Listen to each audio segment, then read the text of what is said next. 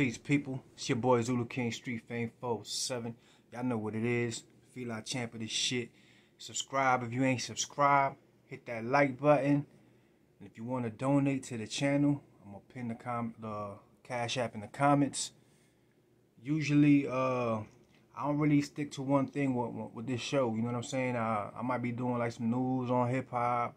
I might take it through the city, through Orlando, and to the hoods out here. Let you see some things out here for how the city go. Um, sometimes I'll do the jewelry of the day, which what I that's what I'm gonna do today. Jewelry of the day. Uh, last one I did was uh, Sambo versus Uncle Tom. Was a lot of people be calling people Uncle Toms and don't really know the history got switched up in that, you know, and you calling people Uncle Toms like they sellouts when he was never a sellout. If, if you ain't watched that video, go through my channel, you'll find it. It's there. But today, my jewelry of the day is to my hero, one of my heroes. Um, her name is Lolita Lebron. She was a revolutionary. A lot of y'all know I'm on my revolutionary shit. A lot of my tattoos are revolutionary. People from the islands, from Puerto Rico. Um, you know, I got machetero tattoos, the Ejército Popular Boricua, macheteros. I got revolutionary tatted across my stomach. You know what I'm saying? I got the original Puerto Rican flag, which is the Grito de Lares. I got, I'm on, I'm on all that. You know what I'm saying? And Lolita Lebron, she's my, one of my heroes, like one of my most, you know what I'm saying? Uh, number one heroes. I say that. You know, she made she makes you proud to be a Puerto Rican, and uh, kind of give you an understanding of why we so proud of our flags and why we why we are the way we are.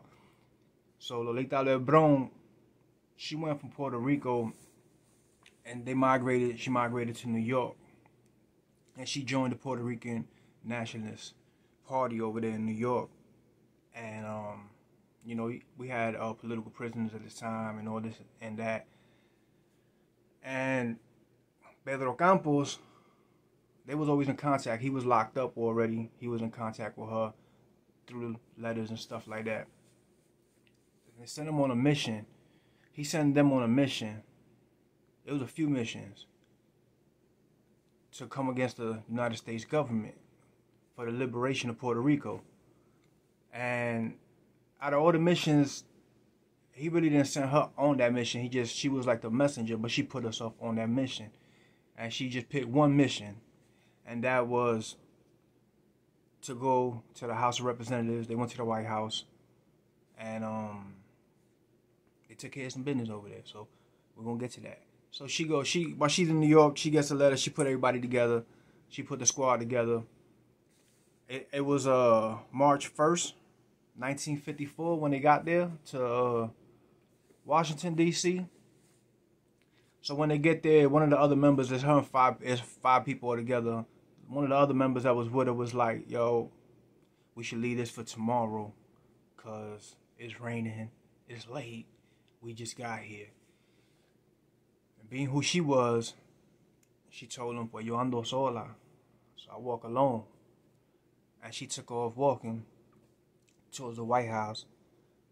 Now, mind you, you got this female take off walking, talking about she gonna do this by herself. So the dudes is looking at her like, so they follow her like, you know, what's up? Then we out. We ain't got no choice. They going to the House of Representatives while there's a meeting going on, and the meeting had to do like with other, like, like the economies of Mexico and other national problems with Latin countries and stuff like that. So when they walk in to the House of Senate, the, rep- the representatives, they sit down. And they're waiting while they're talking. They're waiting while they're talking. And then Lolita gives a, sin- a signal. They go. They do a Lord's prayer. They do a prayer before anything. Well, after they do the prayer, she unfurls the Puerto Rican flag and says que vive Puerto Rico libre. Long live Puerto Rico free. Because they're fighting for the independence of Puerto Rico. Saying the United States is invading Puerto Rico. So when she does that and unfurls the flag, they start shooting. They shot five congressmen. So she goes to jail for that. They get arrested there and everything. When they get arrested, she said she shot in the air. She she she was like, I ain't come here to kill nobody. I came here to die for my country, for the freedom of my country. And you know they, they try to uh they said oh if you apologize you know they would they would have like let her go and things of that nature on parole and stuff like that and she was like I'll never apologize for fighting for the freedom of my country and if you let me out I'm gonna do it again. You know she never tried to sign up for parole. She wasn't on none of that. They, they kind of kind of forced her to do that.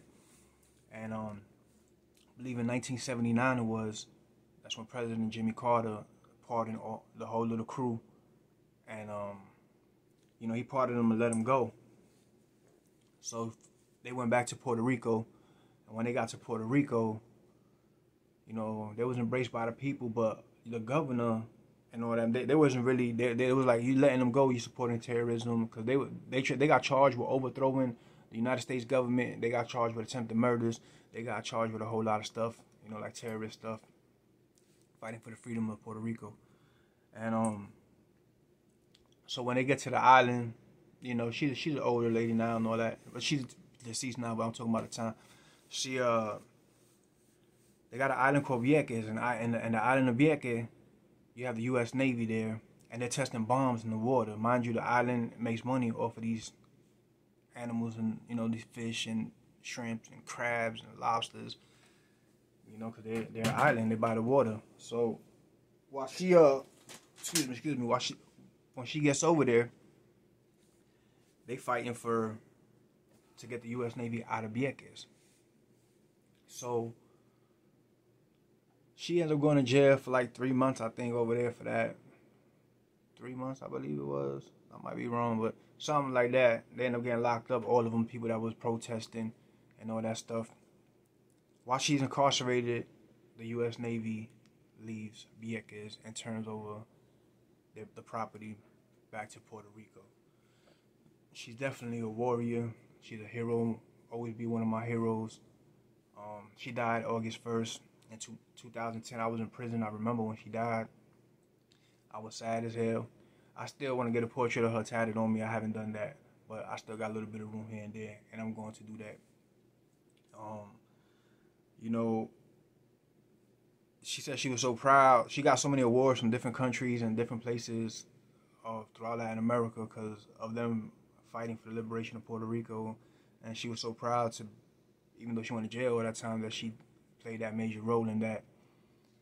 And uh, it made me proud. Made you know to be a Puerto Rican, and even while she was in trial, they was using the flag as evidence that she threw, and they was mistreating the flag, and she was fighting with her lawyer like why y'all disrespecting my flag? And she was just, she was about her issues, man. She was about her people, you know. And uh, that's why I get that revolutionary side from. I go back in my history of my people, and it's just something that I'm proud of and something that I like to share and talk about. I'm gonna do some more videos about different people, and uh, I'm gonna talk about the, the attempted assassination of President Truman. Uh, which was also part of what these attacks that she eliminated because it was like five different attacks. She eliminated and just focused on that one. But that President Truman assassination attempt was also one of them. Uh, we lost two soldiers in that, you know. But that's another video. But I just wanted to share with y'all my hero, Lolita Lebron. She be putting it down. She did put it down. And I think she's a great example, you know. And, and there's a lot of things that they don't teach in school about uh, history. You know what I'm saying? They give you his story, but they don't really teach you the truth. You know, they don't. They, they you even Black History, you get one month. You know, or whatever. They don't. And the Spanish, you don't even. We don't got a month. You know, so I think it's important that we know our heritage, our people, and what we fought for. The the process of the Puerto Rican flags that got changed. The name of the Puerto Rico that got changed because the government, United States government, was in there it was illegal for us to fly our flag for 10 years. We couldn't fly the Puerto Rican flag. It was a felony. We had to fly the American flag. And they changed the spelling of Puerto Rico to Porto, P-O-R-T-O. And, you know, all this stuff that our people was fighting for, to get the island. Really, they don't want the U.S. government there, but we got the flag back. We got the proper spelling back of Puerto Rico, and uh, we got the U.S. Navy out of Vieques. And you know, it's just a fight that continues to go on. And I think it's a great example for people coming from the island, people that's in position of power from the island, like the rappers and the artists out there, like for them to take heed and go. A lot of people don't even know about this story. A lot of people like I talk to that are from the island. They, I'm from New York originally, but I'm a Floridian, bro. I've been in Florida forever. But the people that come straight from the island, a lot of these kids don't know this history of what's going on. They don't even know what the first Puerto Rican flag looks like. You know, so being from there and not knowing that is kind of crazy to me. So I think it should be something that we know and we should teach and uh, embrace. You know, the, the Pedro Campos, the whole, you know I'm saying, Lolita Lebrons, the whole, the whole Puerto Rican nationalist movement. You know, it goes from PR to New York. And um, little by little, I'm gonna do the jewelries of the day. That's what I call this little episode, jewelry of the day, and I'm gonna drop different stories about the Puerto Rican fight in New York, Puerto Rico, and against the United States government. Y'all know what it is. It's your boy Zulu King Street Fame 47. Peace.